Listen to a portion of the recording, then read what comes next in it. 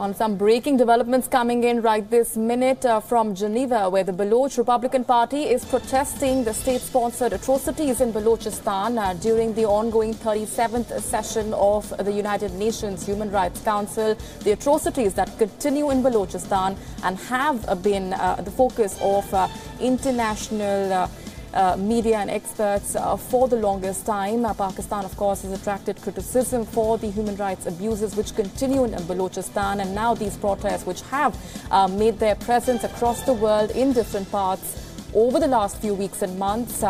Uh, the uh, protests are now uh, reaching Geneva, where the Baloch Republican Party is protesting the state-sponsored atrocities in Balochistan.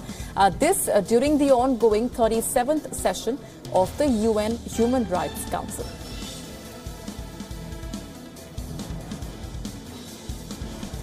Let's go straight across now uh, to uh, our senior correspondent Ramesh Ramachandran, who's joining us for more on this. Ramesh, what more do we know at this point? These protests, of course, uh, are not new. We've seen similar protests across different parts of the world, but these assume significance as the protesters could also be seen marching towards the United Nations office. This is coming uh, amidst the ongoing UN Human Rights Council.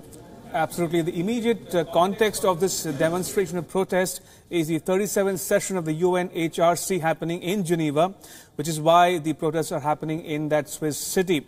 But that said, this is not the first time and probably not the last time the Baloch people would be organizing such protests. We've seen it happen in London, in New York, and many other cities around the world.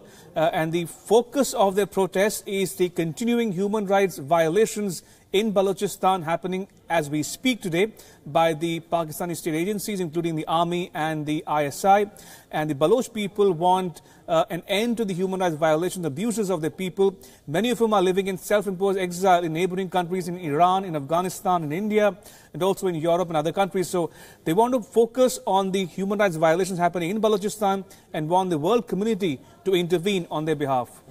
Right, uh, Ramesh, uh, these protesters, as we understand, uh, and uh, like similar protests, are shouting pro-freedom slogans. They're also demanding Pakistan to stop abducting, abducting uh, innocent civilians from Balochistan.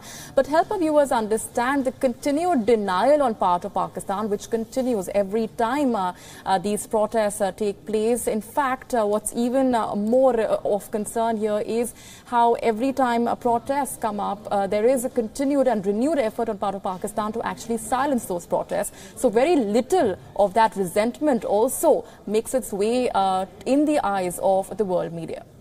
Absolutely. One needs to understand the crux of the issue here.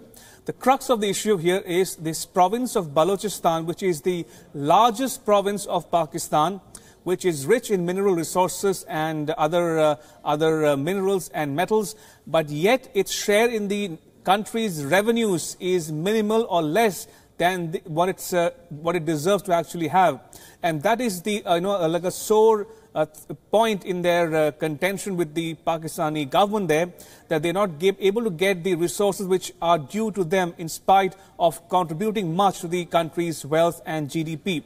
That's one issue. The other issue of is, is the continuing abuses, forced disappearances, torture, uh, enforced uh, you know, disappearances. So these are issues which have been you know, plaguing this, uh, the Baloch people for long, for decades now, especially in the last 10, 15 odd years, when the Pakistani military sort of had an offensive on the on-ground operation and in the air in Balochistan, which led to the death of many Baloch people, including Bugti, the leader of the Baloch tribe, uh, which who was killed in uh, 2006, about a decade and more ago, under the presidency of General Musharraf. So they have a long-standing grievance against the Pakistani state, and they want this issue to be highlighted at the World Fora, and they expect uh, and anticipate that the world community will intervene on their behalf with, with the government in Pakistan. All right, we're going to leave it there for the moment, Ramesh. Appreciate very much joining us on the broadcast, uh, helping our viewers understand uh, uh, the larger design uh, in the midst of this, uh, in the midst of which these protests are coming up. Uh, these protests now reaching Geneva, coming amidst the ongoing session of the UN Human Rights Council.